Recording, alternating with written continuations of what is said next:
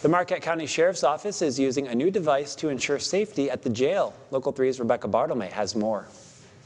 When a person is arrested, law enforcement pats the person down to see if they have anything on them before putting them in jail. Sometimes people hide those contrabands inside their body, making it difficult to find. People have carried in their mouth, um, in different body cavities, and swallowed stuff. The Marquette County Sheriff's Office recently purchased a hands free body scanning machine called the SOTER to add as an addition when searching inmates.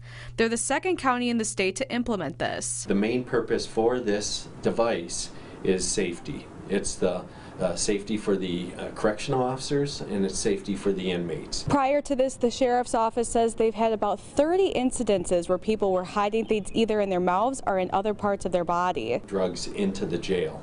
Um, and then they're sharing them with other inmates. We had one inmate that was over overdose, and luckily we got them to the hospital.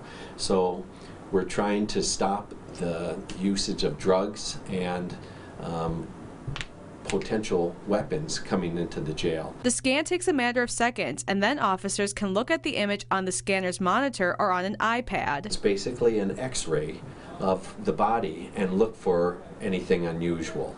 And we've had, and we're going through a learning curve right now of teaching. They, they each had two or three hours of training uh, specifically what to look for, and the uh, SOTER has given us a lot of uh, images to look at of potential places where they hide and maybe they're swallowing a balloon with heroin and what it looks like. Zyburt says once a person is arrested, they'll be asked if they have anything on them. If the person does and tells the truth, it's a misdemeanor. If the person does and does not tell the truth, it's a felony of up to five years. Reporting in Marquette, Rebecca Bartlemy, Local 3 News.